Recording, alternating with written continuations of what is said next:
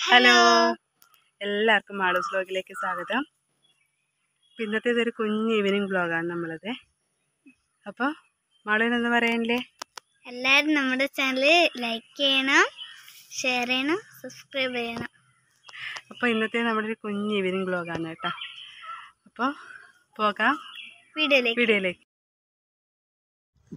അപ്പോൾ നമ്മളെ വീടിനടുത്തുള്ള ഒരു ചേച്ചി ഒരു കുഞ്ഞ് കറിവേപ്പില തൈ തന്ന് തന്നിട്ടുണ്ടായിരുന്നു. അപ്പോൾ ഞാനത് പറമ്പിന്റെ ഒരു സൈഡിൽ കുഴിച്ചിട്ടു. എങ്ങനെ നോക്കിക്കഴിഞ്ഞാൽ നമ്മുടെ ഇവിടെ ഒരു കറിവേപ്പില നന്നായി വളരുന്നില്ല. എന്തുകൊണ്ടാണെന്ന് അറിയില്ല. അപ്പോൾ ഈ കറിവേപ്പില നന്നായി വളരാനുള്ള ടിപ്പ് ആർക്കെങ്കിലും അറിയെങ്കിലും ഒന്ന് പറഞ്ഞു തരണം കേട്ടോ. അപ്പോൾ കുറച്ച് ദിവസമായി കപ്പ കഴിക്കണം എന്ന് തോന്നിയിട്ട് കപ്പ നമ്മളെ വീക്ക്നെസ് ആണല്ലോ. അപ്പോൾ വീടിനടുത്തുള്ള കടയിലൊന്നുമില്ല. നേരെ ചൊവ്വക്കേക്ക് വിട്ടു. അപ്പോൾ ചൊവ്വക്ക് സ്ഥിരമായിട്ട് കപ്പ ഉണ്ടാകുന്നൊരു കടയുണ്ട്. അപ്പോൾ അവിടെ നിന്ന് കപ്പയൊക്കെ വാങ്ങി വീട്ടിൽ വന്നിട്ട് പ്രിപ്പയർ ചെയ്യാൻ വേണ്ടി തുടങ്ങി. അപ്പോൾ സമയം ഏകദേശം നാല് നാലരയായി അപ്പം നല്ല നാടൻ കപ്പയായതുകൊണ്ട് തന്നെ വേഗം വേവും അധികം വേവൊന്നുമില്ല. ഇവിടെയെല്ലാം വയലിലെ കപ്പയായതുകൊണ്ട് നല്ല ടേസ്റ്റും ആയിരിക്കും. അപ്പം അമ്പാടി നല്ല ഉറക്കത്തിലാണ്. അപ്പം അമ്പാടി ഉറങ്ങി എണീക്കുന്നതിന് മുന്നേ ബാക്കി പരിപാടികളൊക്കെ നോക്കണം.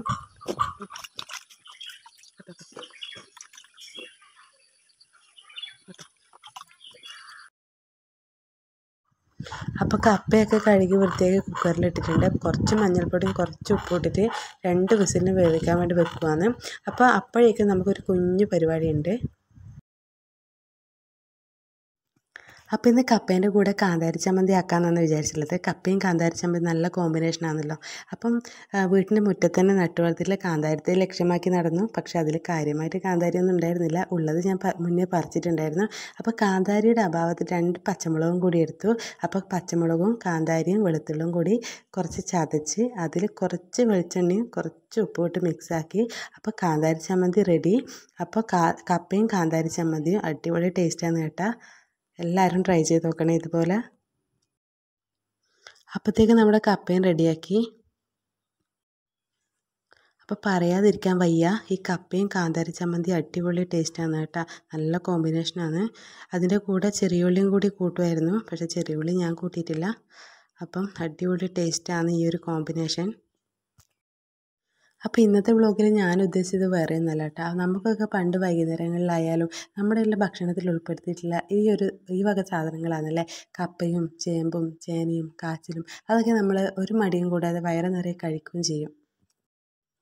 അപ്പോൾ നമ്മുടെ മക്കളും ഇതുപോലെയുള്ള ഭക്ഷണങ്ങൾ കഴിക്കട്ടെ. കെമിക്കൽസും എസൻസും ഒക്കെ അടങ്ങിയ ഒരുപാട് പാക്കറ്റ് ഫുഡുകൾ നമുക്ക് കടകളിൽ നിന്ന് വാങ്ങിക്കാൻ കിട്ടും. അതെല്ലാം കുറച്ച് കഴിഞ്ഞ് കഴിഞ്ഞാൽ പേര് പോലും പറയാൻ പേടി തോന്നുന്ന തരത്തിലുള്ള അസുഖങ്ങളിലേക്ക് മാറുകയാണ് ചെയ്യുന്നത്. അപ്പോൾ നമ്മുടെ നമ്മുടെ മക്കളുടെ ഭക്ഷണത്തിലും നമ്മുടെ വൈകുന്നേരങ്ങളിലും ഒക്കെ ഇതുപോലെയുള്ള ഭക്ഷണങ്ങൾ ഉൾപ്പെടുത്താൻ ശ്രമിക്കുക. അപ്പോൾ പുതിയൊരു വീഡിയോയുമായി വീണ്ടും കാണാമെന്ന ശുഭപ്രതീക്ഷയോടെ.